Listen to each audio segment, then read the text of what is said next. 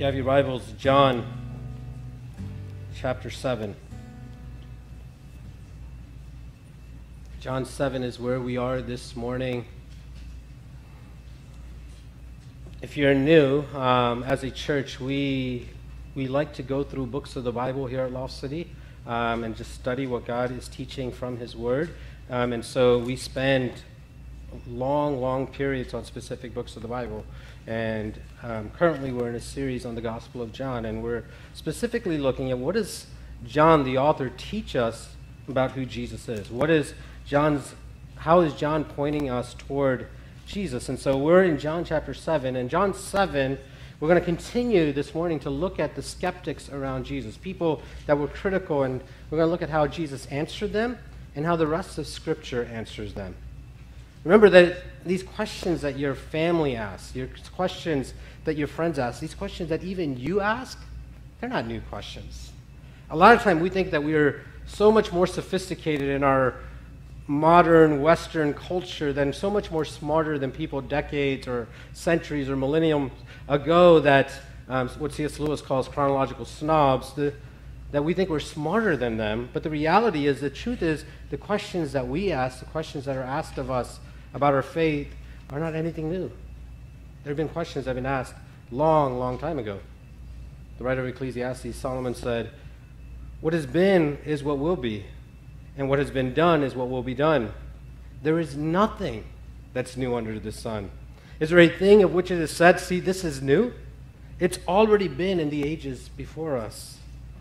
Guys, skeptics have been around long before the world began. Satan was the very first skeptic who thought God's authority and God's position was suspect and attainable, and he rose up and he tried to be like God, only to be cast down and separated from God. And then our first parents, Adam and Eve, they were skeptical. They were skeptical of God's word to them, and Satan comes and he tempts them to be skeptical and to doubt. Has God really told you this? Has God indeed said this? And he made them skeptics. And so the skeptics that you and I deal with, even the questions that you and I ask, even the skepticism of our own heart, they're not new.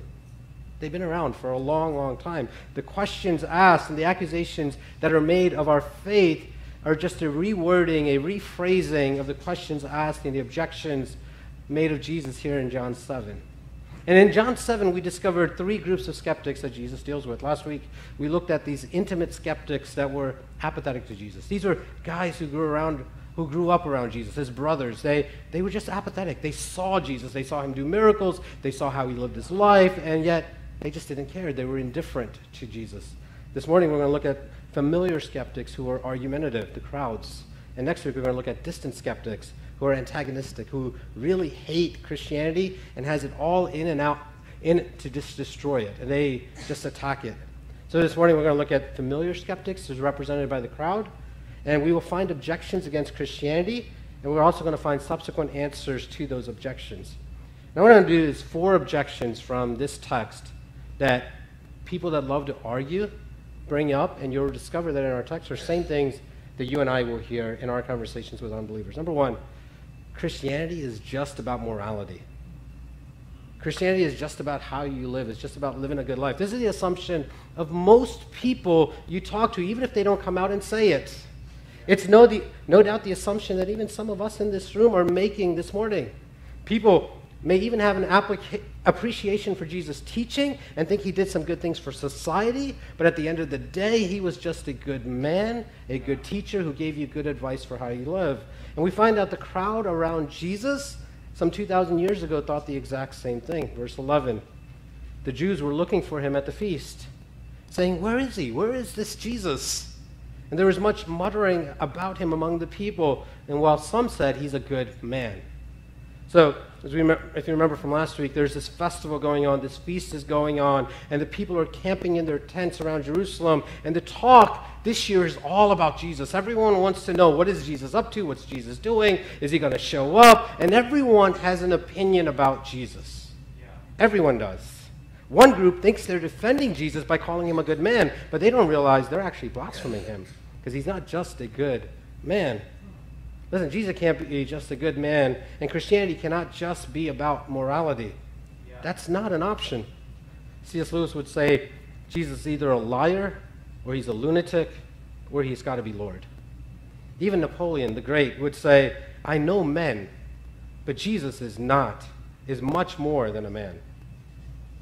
Yeah. So let's look at the reasons why Jesus can't be just a good man. Let's look at the reasons why Christianity can't just be about morality. Number one, the nature of Jesus' teaching. Jesus' teaching was very egocentric.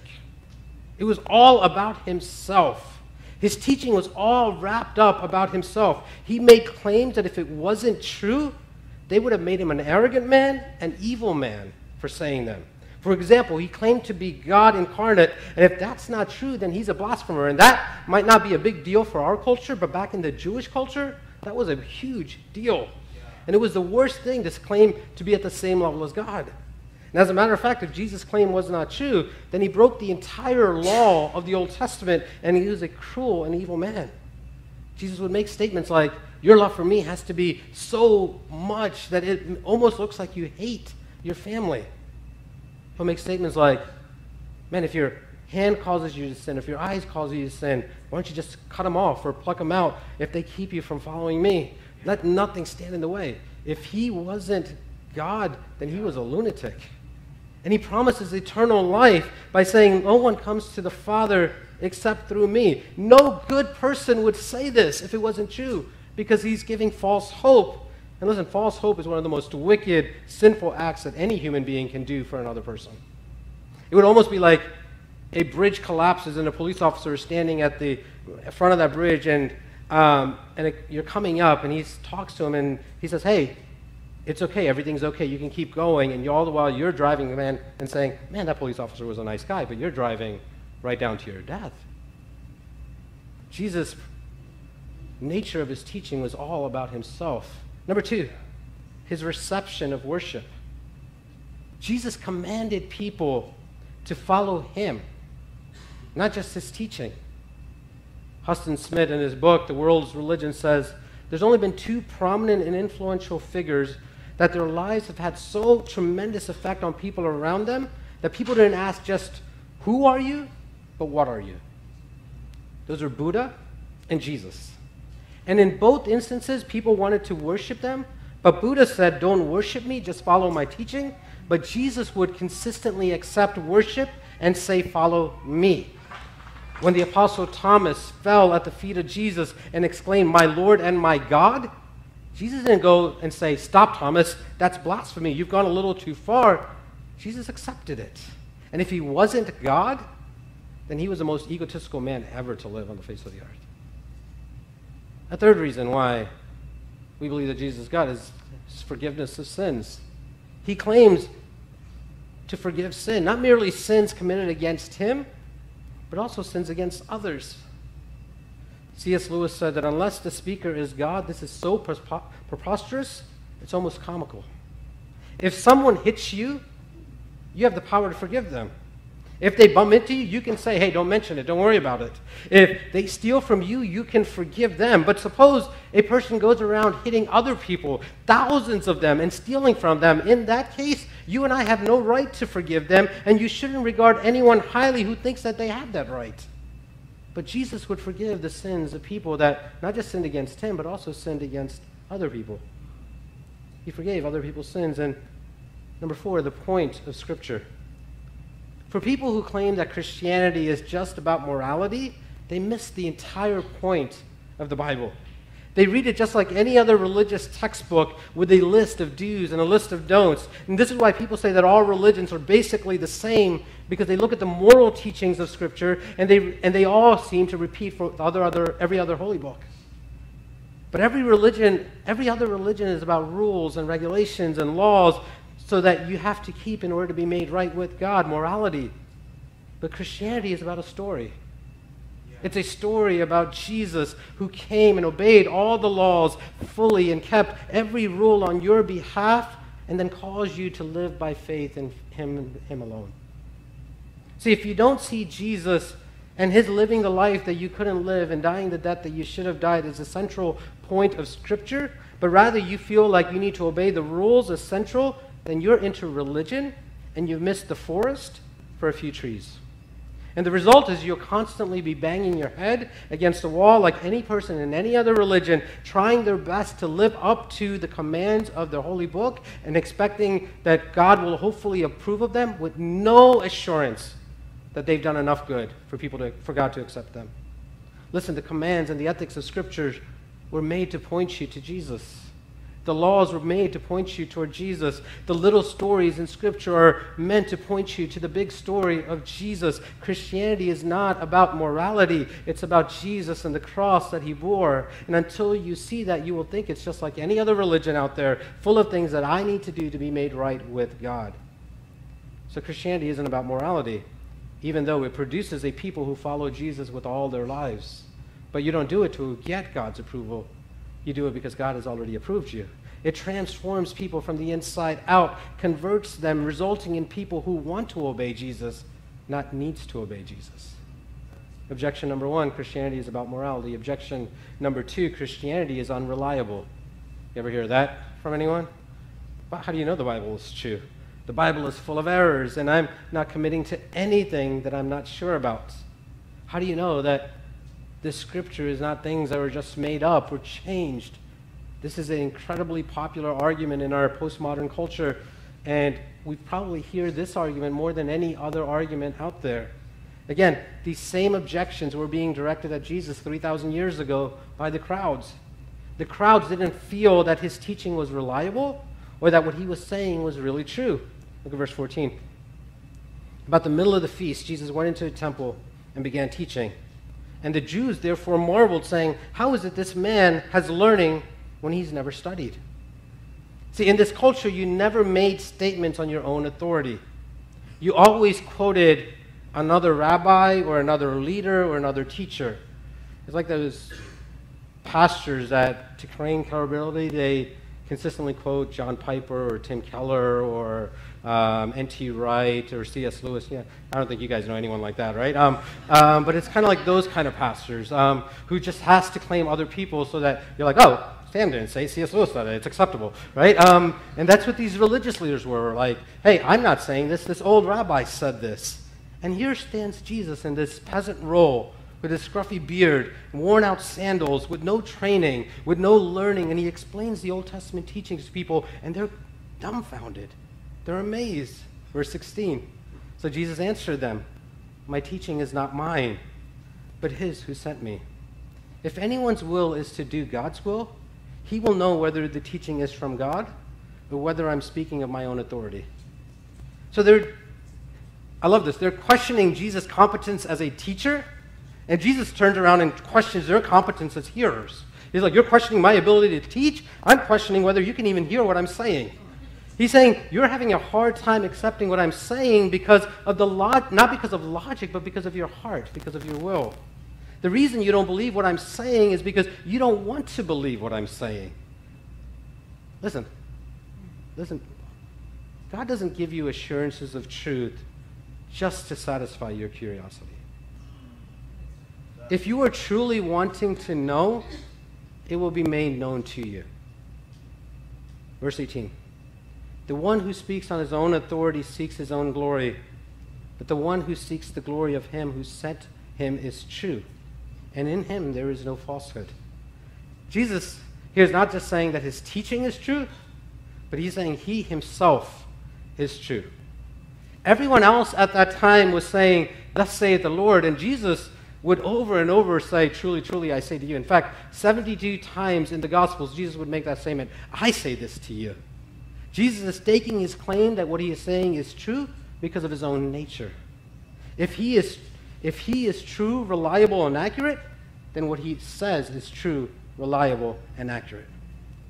Listen, that topic of truth is a major subject in the Gospel of John. Nearly 20% of the verses in the Gospel of John deal with the issue of truth, and the term appears three times as much in this book than any other book in the Bible.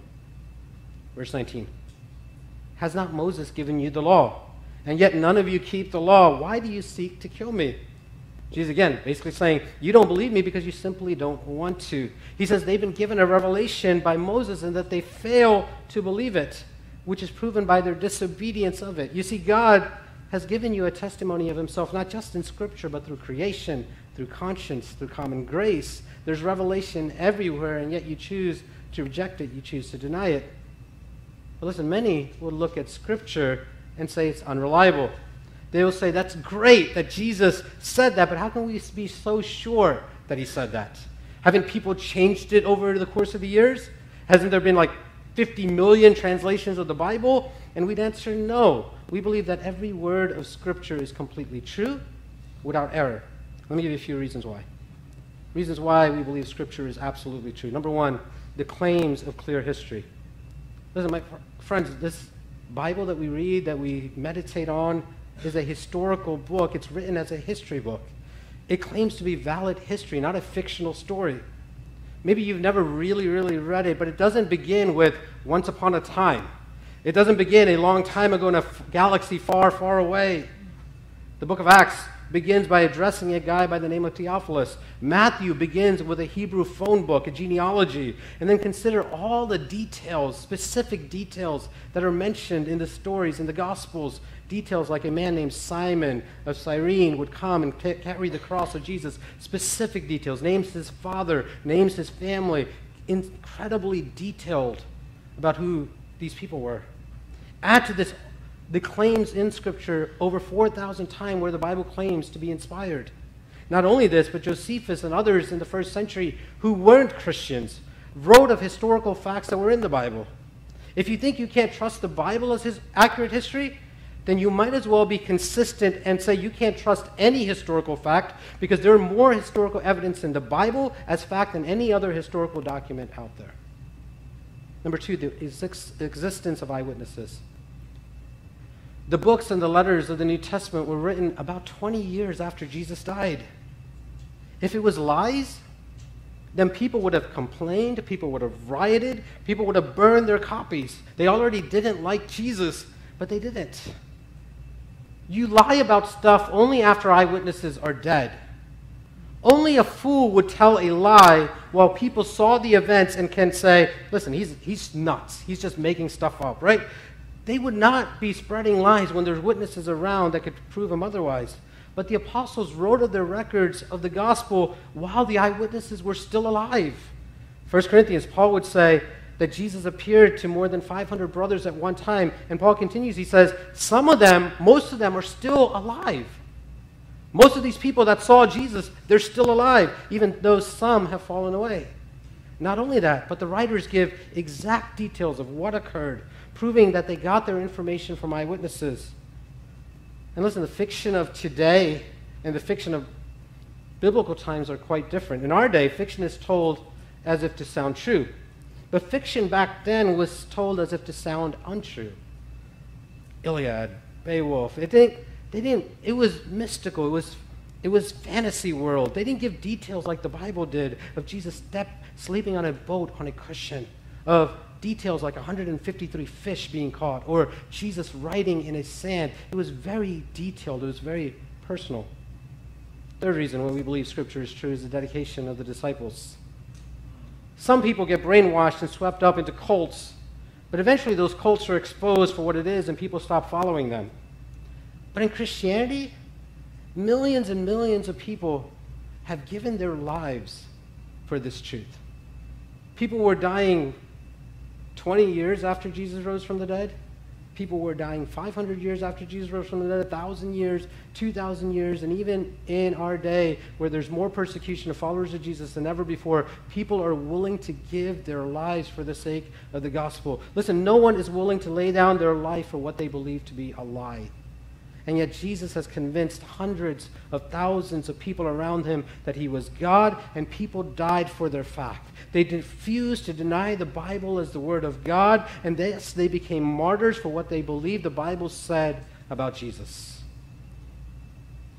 And think about it this way if the disciples were really trying to pull a wool over your eyes, really trying to deceive you, why would they record all of their failures? Why would they talk about all the times they've messed up, they screwed up? Why would the leaders of the church air out all of their dirty laundry for all of us to read about?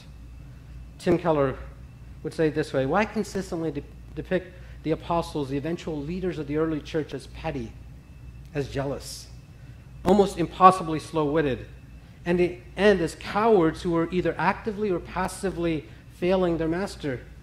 Even Peter denied Jesus to the point of calling down a curse on his master. Why would anyone in the early church want to play up the terrible failures of their most prominent leaders? The, the, the, the dedication of the disciples. And objection number three against Christianity by people that are argumentative Christianity is evil, it's hurtful. It's a very another common argument today. Basically, people would say that religion, in general, it doesn't just have to be Christianity, but religion as a whole, and even Christianity is the cause of so much war in the world and so much evil in the world. The thought is that if there was no religion, then there'd be no war and no violence. And they fail to realize that there have been more people that have died under the regime of atheists and secularists than any other religious group. Think about the regimes of Stalin and the French Revolution. These are atheist groups. It makes us wonder if it's not a religion problem, but if it's a human problem. Let's look at how Jesus answers them, and then we'll talk about this for a little bit more. Verse 20. The crowd answered, You have a demon. Who is seeking to kill you? The crowd here is basically the pilgrims who came from various places for the feast. This is not the Jerusalem mob that will attack Jesus in a few chapters. They saw him as a deluded madman, someone quite possibly possessed by a demon. They would come back to this conclusion three times in the book of John. But could he be working for Satan? Cannot Satan do good works? Verse 21 Jesus answered them, I did one deed, and all of you marvel at it. Moses gave you circumcision, not that it was from Moses, but from the fathers, and you circumcise a man on the Sabbath. If on the, man, if on the Sabbath a man receives circumcision so that the law of Moses may not be broken, why are you angry with me because on the Sabbath I made a whole man's body well? So Jesus is talking about that story in John 5 where he, heal, he heals that man who's been paralyzed for 38 years. He heals that man at the pool. And it was on the Sabbath day. And if you remember, the religious leaders were, they were so mad because, not because Jesus healed a man, but because he healed him on the Sabbath. And Jesus is trying to show them, hey, you guys break the Sabbath every single time when you circumcise a boy on the eighth day. Because in the Old Testament, you're commanded to circumcise a boy on the eighth day, whether it's a Sabbath or not. And it was, if it's okay to fulfill an unnecessary medical operation, Jesus saying, why is it not okay to have a man who's been paralyzed for 38 years get up and walk? Circumcision was a medical attention to one, man, one part of a man's body and it's actually taking something away from that boy's body. But Jesus was making a whole body well. He was restoring wellness to a person's body. And these people knew that they had no grounds for argument against Jesus. They just didn't like Jesus, and they didn't like someone telling them that they hadn't lived up to the law of Moses. You know what they do? They resort to name calling. And so they begin to call him Sabbath breaker, lawbreaker, seducer, drunkard, glutton, have the most disgraceful of friends. He's destroying Orthodox religion. He's demon possessed. So you got to ask was Jesus really self deceived or maybe demon possessed and didn't know it? Was he completely mad, a basket case off of his rocker?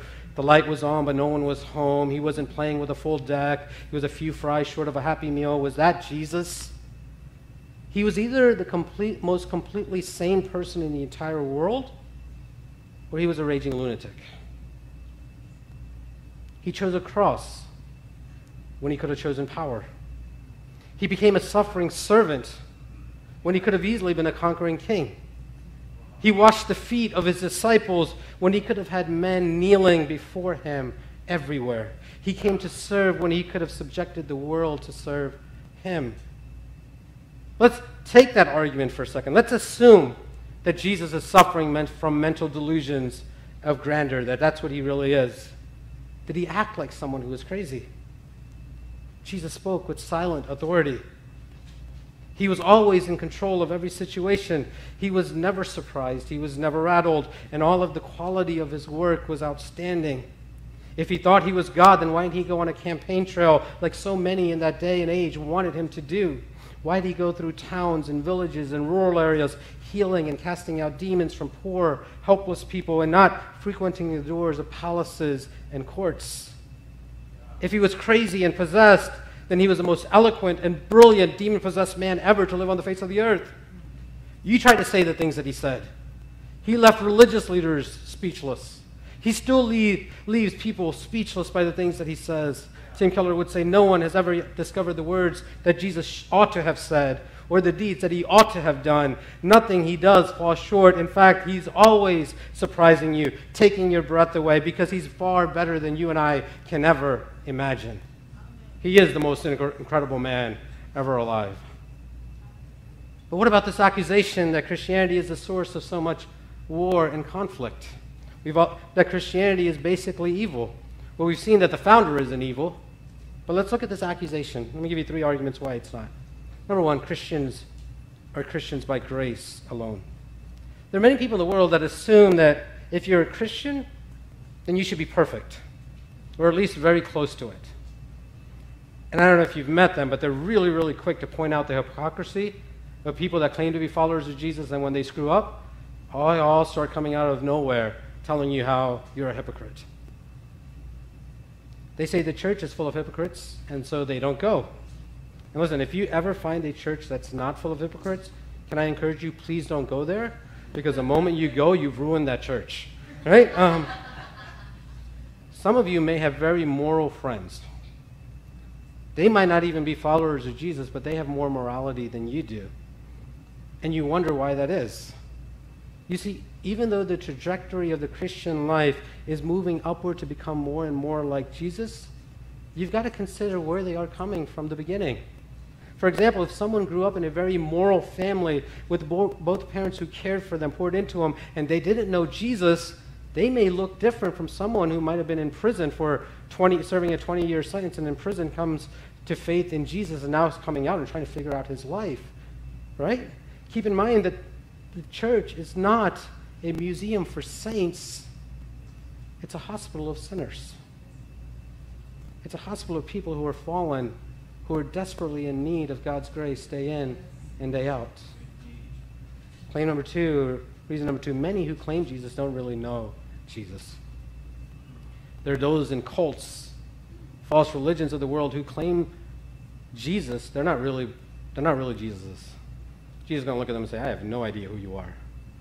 There may be people even this morning here who claim to be followers of Jesus, but you don't really know him. You're not really following him. Maybe you're here because you're checking off a religious duty that you have to do so that you can earn God's acceptance and favor. And favor. There's always tares among the wheat. Much of what we see in the media that's done in the name of Jesus today is not done by God's people. Those who hold up banners at soldiers' funerals saying God judge these men uh, for their, our nation's sins are not the followers of Jesus. Gospel and religion are polar opposites of each other. You say, but they look so committed to Christianity. Look at them quoting verses left and right. I mean, they're at church all the time, but you need to know there are people who are fanatical, and they're not fanatical because they're committed to the gospel. They're fanatical because they don't understand the gospel at all. They're committed to religion instead of the gospel. The gospel, if they really understood this and it really takes root in your life, produces a people of humble boldness. They're fanatical in one sense because they'll die for Jesus, not kill people for Jesus. But they talk with people and show people so much grace because they themselves are the recipients of so much grace. Religious people without the gospel are some of the most hateful, bigoted people on the face of this planet, and you've got to call them out for what they are. They are not followers of Jesus. They have to find someone to look down on so that they can feel better about themselves and their moral performance, and so always find people that they can judge. Number three, true Christianity, true followers of Jesus show justice, do justice, and show mercy. When someone is truly converted and becomes a follower of Jesus, they are overcome by grace and they are transformed into people who love other people. The Bible speaks about justice and mercy just about as, any, about as much as any other subject in Scripture. But only a person that's transformed by grace and belonging to Jesus will experience a love inside of them for people that are different from them. This is why in Matthew 7, Jesus will say there were many that will come to him and say, Lord, Lord, did we not do miracles in your name? Did we not do all this stuff in your name? And Jesus will look at them and say, I don't even know you. I don't know who you are and where you came from. It's because they didn't do justice and show mercy out of compassion and love for people, but they did stuff only to show that God, hey, look at all the good things I'm doing, only to prove themselves to God. This is why Jesus commends the Good Samaritan in the parable who showed compassion, yeah. who showed kindness. And listen, if you read church history, you'll find that justice and mercy and compassion is the backbone of our faith, is what it's built on. When the plague was destroying Eastern Europe, the Christians stayed there and cared for those who were dying. It was built on caring for those who were hurt. It was built on standing up as a voice for those who were experiencing injustice. It was built on standing and saying, Listen, I might be unpopular for doing this, but my love for Jesus compels me to love my neighbors, whether they're different and whether they're outcasts. It causes me to stand with them. Christianity is a gospel. Christianity, when it sinks in, makes you thrive for justice and compassion and mercy. Objection number four real quick Christianity is just too narrow. Christianity is just too narrow. You can't know for sure you're right. You can't know for sure that Christianity is the only way. There has to be other ways to God. What about all these other religions? This argument is seen in the word know there in verse 7. It's in this text seven times between verses 25 and 31. This is, there's this, almost this mystical view of the Messiah that his origin won't really be known and no one would really know for sure. Verse 25 Some of the people of Jerusalem therefore said, Is not this man the one whom they seek to kill? And here he is, speaking openly, and they say nothing to him. Can it really be that the authorities really know that this is the Christ? The crowd is beginning to wonder is there a conspiracy theory against Jesus? Maybe the leaders know the truth, but they're faking it and hiding it from the crowd. The crowd claims to know a lot of absolute things, but they're still going to claim that there's no absolute knowledge of Jesus' birthplace. See, that's the way it is with people. No one believes in no absolutes, although they claim it. Even though they say there's no absolutes, they don't believe that. For a belief in no absolutes is a belief in an absolute.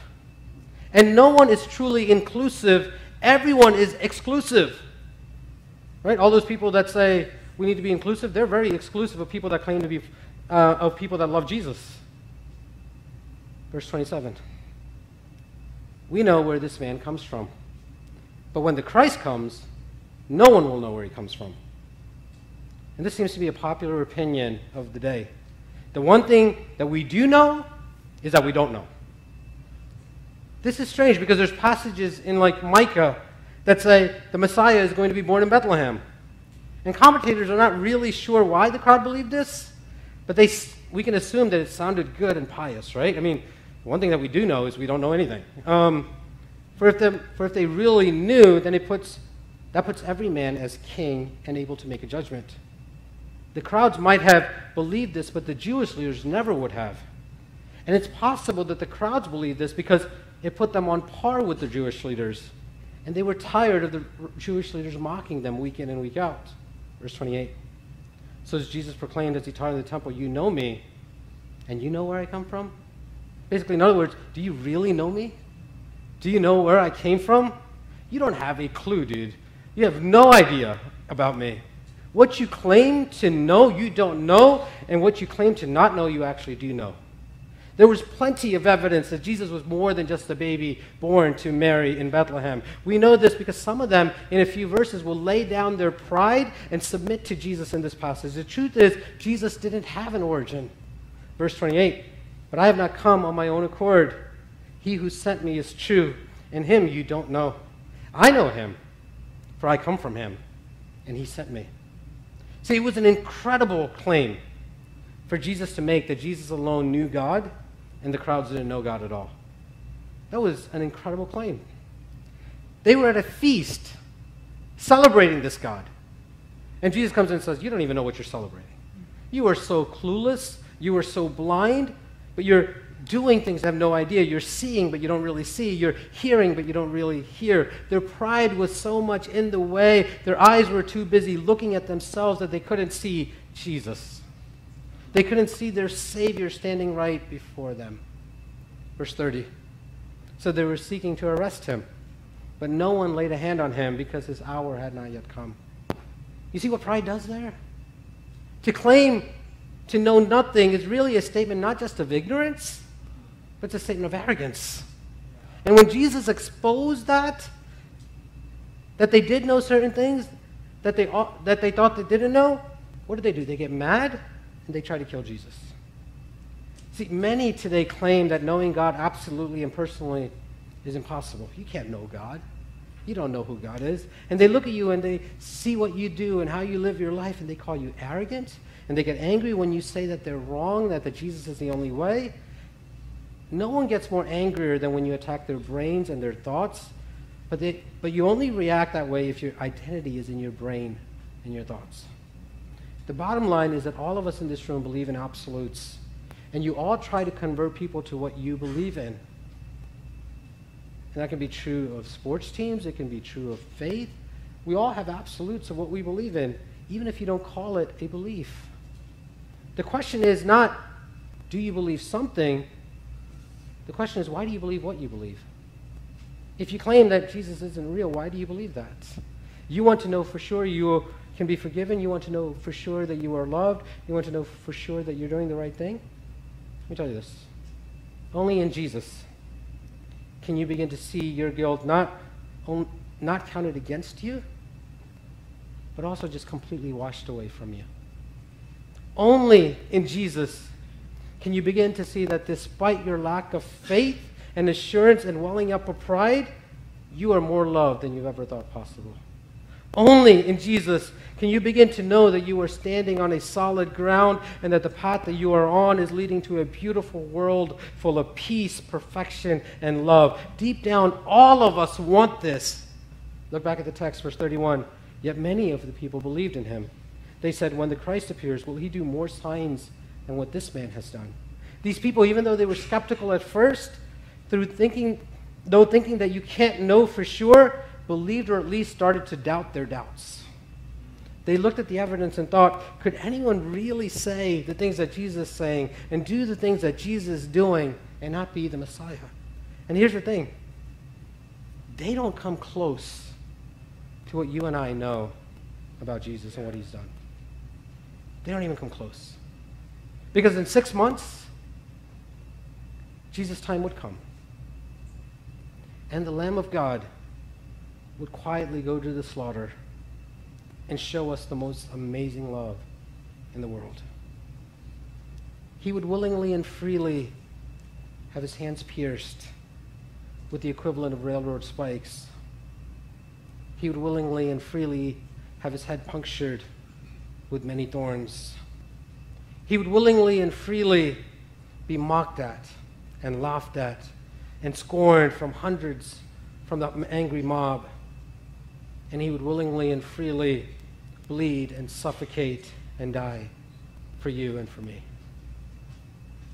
And then he would willingly and freely rise from the grave. He would willingly and freely move that stone away. He would willingly and freely welcome back his retreating, disloyal friends. He would willingly and freely go back to the Father and send us his Holy Spirit. And he would willingly and freely come back and make all things new and create for us a new earth full of justice and truth and beauty to worship and enjoy him forever. Isaiah 53 says it this way. Would you meditate on these words as we prepare for communion? prophet Isaiah prophesies and says this Who has believed what they heard from us? And to whom has the arm of the Lord been revealed? For he grew up before him like a young plant and like a root out of dry ground. He had no form or majesty that we should look at him, and no beauty that we should desire him. He was despised and rejected by men, a man of sorrows acquainted with grief. And as one from whom men hide their faces, He was despised, and we esteemed him not. Surely he has borne our griefs and carried our sorrows, and yet we esteemed him stricken, smitten by God, and afflicted. But he was wounded for our transgressions, he was crushed for our iniquities. Upon him was the chastisement that brought us peace, and with his stripes we are healed. We all, like sheep, have gone astray. We have turned every one of us to our own way, and the Lord had laid on him the iniquity of us all. God knew that we wouldn't come to him. And so he sent his son to us. Instead of crushing us for our hatred of him and refusal to believe in him, he turns around and crushes his own son in our place. He treated Jesus as if he lived your life, and he treated Jesus as if he lived my life, so that this morning he could treat you and I as if we lived the life of Jesus. When God looks at you and God looks at me this morning, he doesn't look and see all the sins you've done. He sees the righteousness of Jesus all over you. But Jesus had to go to the cross for that to happen. So listen, if you're here today, can I encourage you, would you begin to doubt your doubts if you're doubting? And if you're beginning to doubt your doubts this morning, can I tell you more about this amazing Jesus that we love and worship? We're not here to introduce you to religion we want to introduce you to Jesus, the living God.